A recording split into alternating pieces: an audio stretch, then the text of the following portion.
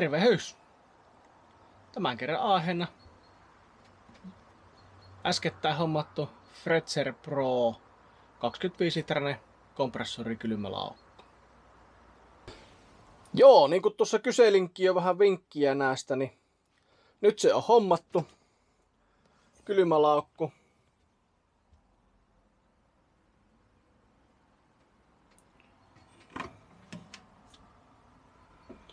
Ja itse asiassa viikonlopun reissulla tuossa oltiin Solifer Caravanin meetingissä, niin siellä on ensimmäiset testit testailtu nyt ja hyvältä vaikuttaa.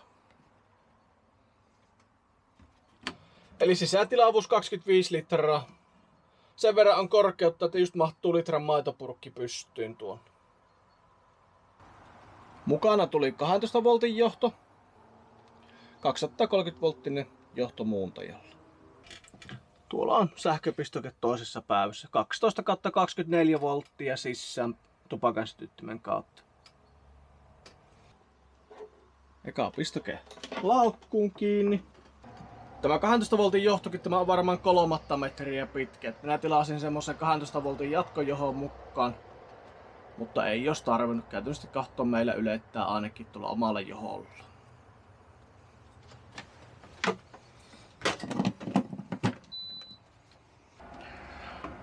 Johto on seinässä.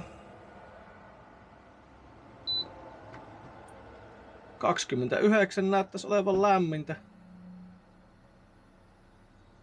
Siitäpä lähti hyrisemään. Käyntiääni on semmonen aika maltillinen.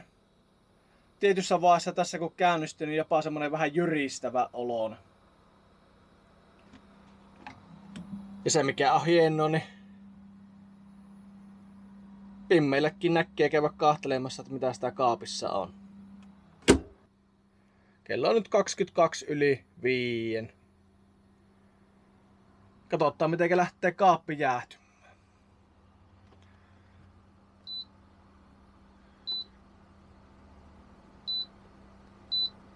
Viisi astetta on tavoitelämpötila nyt. Tuosta kun katsotaan lataussäätimen kautta kuormalähtö. Kolme amperia reilua on kulutus sen mukaan. Ja täällä on kuitenkin päävirrat päällä, että siellä on jotain soittimen muistivirtoja ja jotain. Että varmaan se kolmisen amperia. Vähän reilu on. Tietysti riippuu se jännitteestä. Akkujännite näkyy tällä hetkellä 1291 olevan.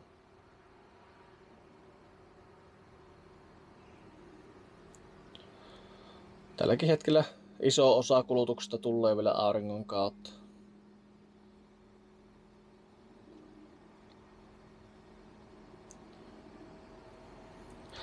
Ja ei ole ihan helppoa. Vaanussa on tällä hetkellä toreilu 30 lämmintä mittarin mukaan. Ei ihan tota helpoimmat olosuhteet ei tällä hetkellä ole.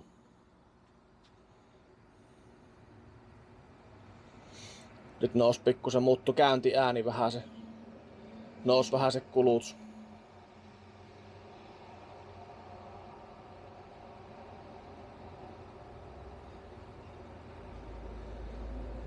Reilua 4 amperi. Tosi helposti tipahtaa tällä kaapilla näkyvä jännite. Nytkin näyttää 10,5 volttia. Tietysti siinä on nyt tuo pitkä johto välissä. Eli tuota 12 voltin johtoon plus sitten mitä on vielä vaunussa noille tupakasytkä noille systeemeille.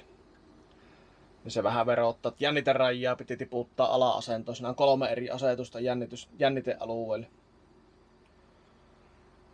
Mut, mut, hyvin se tuntuu tuollakin pellaava, vaikka tuon verran on se syöttöjännite vaan sillä.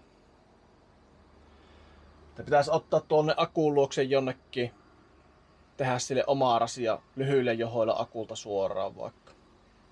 Nyt se kiertää nämä tupakin sytkät vähän tuolta hassusti. Pidemmän kaavan mukaan jännitehäviöitä tulee ja tietysti useampi liitos tulee väliin vielä sitten. Surina siltä kuuluu. En tiedä miltä se kuulostaa videolta, mutta aika maltillinen on tuo ääni. Tai oikeastaan tuolta tieltä tuleva meteli tulee tähän kovempaa reilustikin, vaikka ei ihan tien vieressä ollut.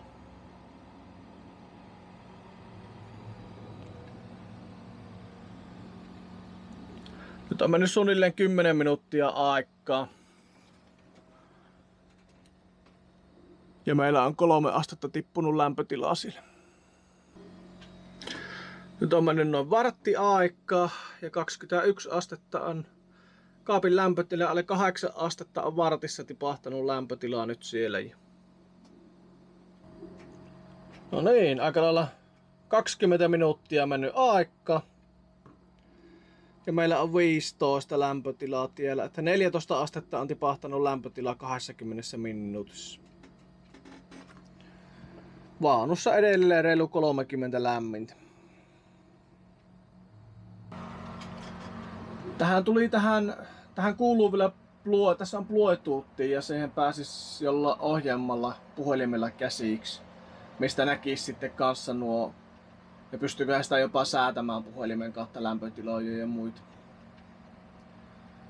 Mutta tuota, en ole itse asiassa kerinyt siihen vielä tutustumaan, mutta semmonenkin siihen on olemassa.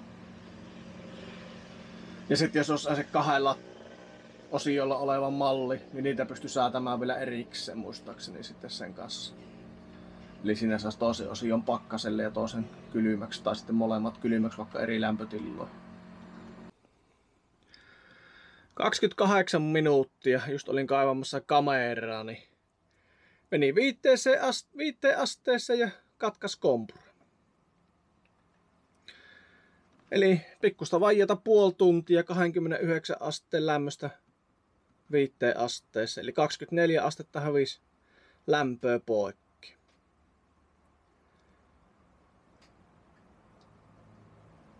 Tosiaan vaanun lämpö edelleenkin on tämän reilu 30. Tuossa on muuten sitten, jos retkeilemässä käypi, niin pystyy vaikka puhelimen lattoamaan sitä. Kyllä näyttää neljä. Itellä mä en nähi kiellottella vaunussa istussa, vaikka vähän tuossa ovi on raolla ja tuonne yksi ikkuna tuossa raolla. Nämä ensituntumat on, että oikeinkin toimiva laite.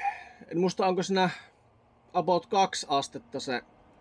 Nyt kun se on viitteen sääjetty, se menee viitteen ja katkaisee ja onkohan se seitsemässä, missä se lähtee sitten päälle uudestaan.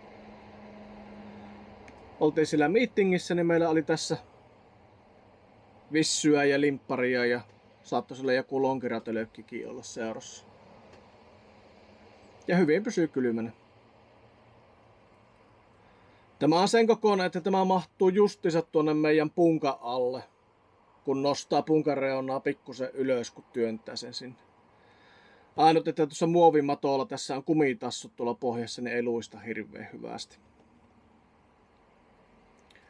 Mutta tästä tulee tämmönen lisää kylmä Tuo sähkönkulutus ei minusta mahoto ole. Se ei kuitenkaan koko ajan kuluta sitä, kun se katkoo sitten välillä ja muuta. Niin pystyy pitämään lisää tilana, tai sitten jos on oikein joku yöylireissu, niin pärjää melkein tällä. Ei tarvii olla kaikki päällä. Sama nyt sitten, jos autolla lähtee käymään pitemmällä kaupassa tai jotain muuta, niin pystyy periaatteessa pistämään laukun kylmenemään ja saapi ostokset säilymään sitten kylmänä. Tämähän saapi vetästyä, onko se miinus 20 on maksimi, eli sitä pystyy käyttämään pakkasena myös. Toki tässä ei ole tuo yksi tilaa, että se on joko tai tässä mallissa. Jääkaappi tai pakasti. Mutta uskoisin, että se menee sinne pakkasellekin kyllä ihan hyvästi. En ole vielä testa. Mutta siinäpä tämmöiset ensitunnelmat tästä laitteesta ja näytetty, että minun mielestä se toimii ihan hyvästi. Ja varmasti jatkoa kuuluu, kun tässä saadaan kokemusta nyt näistä jutuista, niin tuota, ruvetaan näkemään sitten, että miten se todellisuudessa pelloi. Mutta luulen, että olisi pitänyt hommata tämä jo aikaisemmin varustuksessa. Vaikka täällä tätä tavaraa vaunussa tuntuu, että on muutenkin ihan tarpeeksi asti. Hintaa tällä oli kärkkäiseltä tilasi, oliko 269. Sattu olemaan ilmaiset toimituskulut, niin ei tullut edes toimituskuluja sitten kun tilasi sen sieltä. Mutta eipä minulla tällä erää tämä ihmeempiä. Seuraillaan tilannetta. Moriens.